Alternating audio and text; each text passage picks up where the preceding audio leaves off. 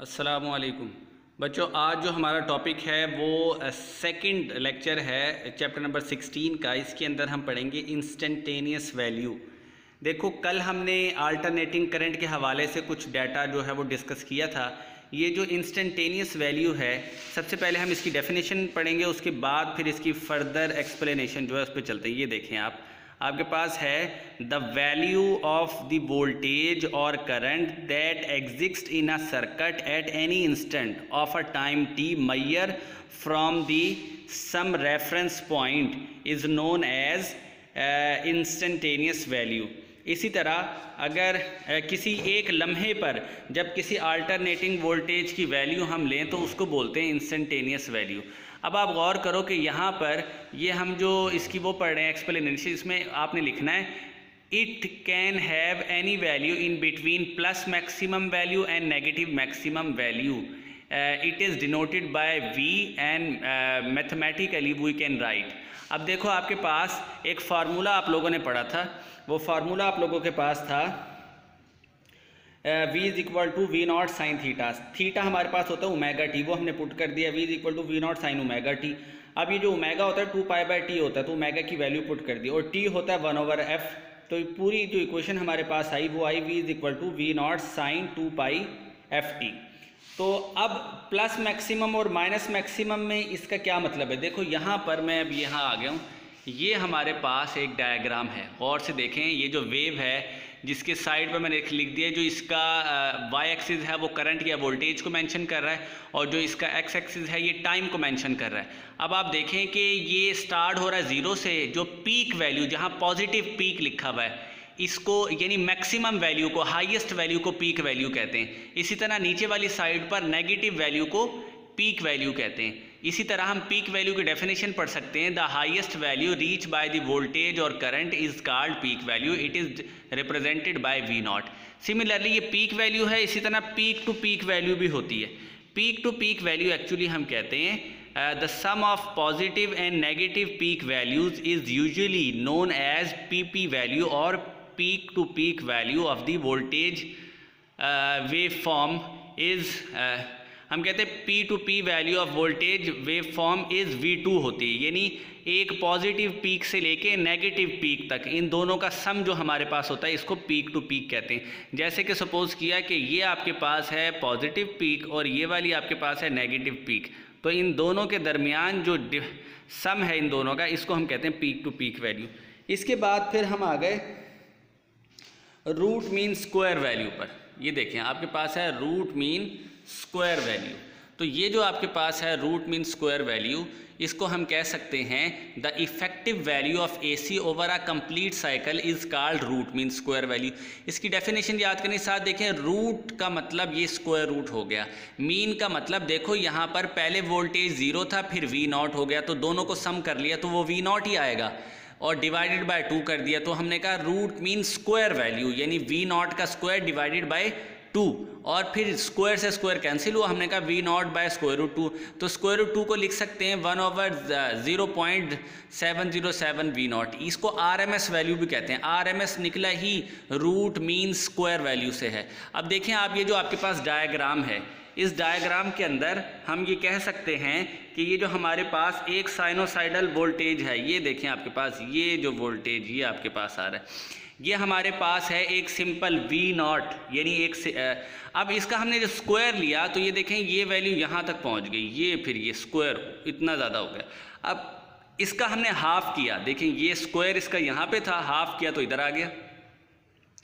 Similarly जब इसका half करेंगे तो ये इधर आ जाएगा। ये फिर यहाँ तक, ये वाली लाइन जो आप देख रहे हैं, ये रूट मीन स्क्वायर वैल्यू की लाइन है। तो ये डायग्राम भी आपने इसके अंदर बनानी है। ये एक्चुअली आपके पास आता है question what is root mean square value इसके बाद दिया हुआ है फेस ऑफ़ ए सी यानी फेस ऑफ़ ए सी यानी फेस एंगल को कहते हैं। हम यहाँ पे कह सकते हैं as the instantaneous value of A C can be express as The of S A C can be express as V is equal to V not sine omega T या ओमेगा टी को आप theta भी लिख सकते हैं। Angle is describe the instantaneous value of current and voltage is as अब देखो आपने, ये मेरे पास, कुछ मैंने ये बुलेट्स ऐसे बनाए। देखो, जब थीटा आपके पास ज़ीरो होगा तो v is equal to V not sine zero put करेंगे तो साइन ज़ीरो आ जाएगा। अब ज़ीरो से मुराद क्या है? इसका मतलब ये है कि वेव फॉर्म के अंदर यहाँ पर जब ज़ीरो पुट किया तो साइन हमारे पास ज़ीरो आया।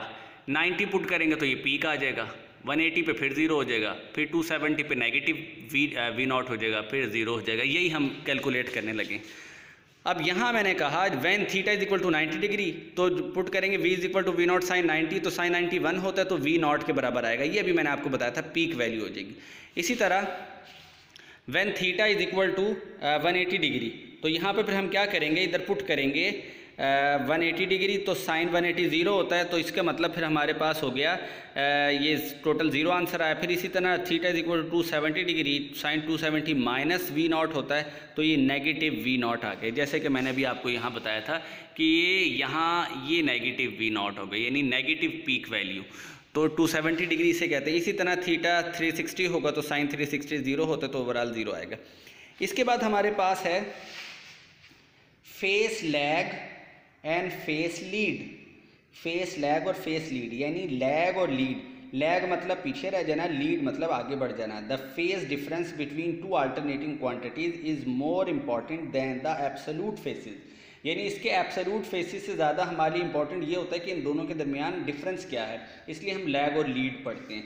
लैग और लीड का मतलब मैंने आपको बता दिया. लैग का मतलब एंगल फेस लैग एंगल का पीछे रह जाना फेस लीड एंगल का आगे बढ़ जाना.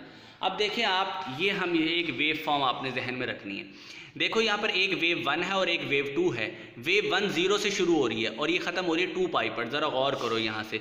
ये देखो, ये ज़ीरो से वेव वन शुरू हुई और ये आई टू पाई तक। अब वेव टू जो है, इस पर गौर करें, ये कहाँ से शुरू हो रही है? ये शुरू हो रही है टू सेवेंटी से। टू सेवेंटी से ये ज़ीरो पे पहले आई। जब ये ज़ीरो पे आई तो वहाँ पर वेव वन नाइन्टी हो गई थी। समझ के बाद यानी ये पीछे चल रही है नाइन्टी डिग्री। और ये देखो, ये जब यहाँ पर पहुँची टू सेवेंटी पे तो जो वेव वन है, वो टू पाई यानी थ्री सिक्सटी पे पहुँच गई थी। तो ये वाली वेव टू जो है, ये लैग हो रही है। हम कहेंगे wave two lag behind by 90 degree by wave one wave one से 90 डिग्री पीछे चल रही है, यानी पाई बाय टू पीछे चल रही है। गौर से देखें, या दूसरे मायनों में हम ये भी कह सकते हैं कि वेव वन जो है lead the wave two by 90 degree ज़ाहिर है वेव वन जो है वो ज़्यादा आगे चल रही है। गौर से देखो, ये वेव वन 90 पे है, ये नाइन सॉरी ज़ीरो पे है। ज़ीरो का मतलब टू पाई होता है, यानी ज़ीरो का मतलब थ्री सिक्सटी डिग्री भी कह सकते हैं। तो ये टू सेवेंटी ये थ्री सिक्सटी यानी नाइन्टी डिग्री का डिफरेंस है। तो इसी तरह, इसके बाद हम पढ़ते हैं vector representation of vector representation of alternating quantities देखो, यहाँ पर लिखा हुआ है फेज़र और वेक्टर रिप्रेजेंटेशन फेज़र एंगल को ही कहते हैं। फेज़र और vector representation of alternating quantities is basically use to show the phase difference between alternating quantities although these quantities are not vector देखो, ये वैक्टर तो नहीं होती, लेकिन फ़ेज़ डिफरेंस को शो करने के लिए फाइंड इसमें हम, इसको वैक्टर रिप्रेजेंटेशन इसलिए हम यूज़ करते हैं। देखो, अब आपके पास ये एक साइनोसाइडल वेव आ गई। यहाँ पर एक जो वेव है वी ये वी जो है वोल्टेज के लिए है और आई जो है ये करंट के लिए है। आई देखो, पीछे चल रही है वी से। वी देखो, जहाँ पर वी 90 डिग्री है। वी ये 90 डिग्री जहाँ पर है, गौर से देखें ज़रा, ये वी जो है, ये यहाँ 90 डिग्री है। और यहाँ पर आई जो है, ये ज़ीरो है। समझे? आई यहाँ से शुरू हो रहा है ना आगे। तो अब आई, यानी करंट जो है, वो लैग कर रहा है 90 डिग्री पीछे चल रहा है वोल्टेज से। इसका ये मतलब है। इसका मतलब हम इसको यूँ भी कह सकते हैं कि करंट जो है, वो वोल्टेज से 90 डिग्री के डिफरेंस पे चल रहा है। तो ये थोड़ा बहुत इंट्रोडक्शन था, ये वेक्टर रिप्रेजेंटेशन का, और उसके बाद इसी तरह ये पीक वैल्यू का फेज़र का पीक टू पीक वैल्यू का, और सिमिलरली इंस्टेंटेनियस वैल्यू ये सारा, आपने कोशिश करनी है इस सारे को आज ही याद कर लेना है। कल इंशाल्लाह नेक्स्ट टॉपिक डिस्कस करेंगे। अल्लाह हाफिज़।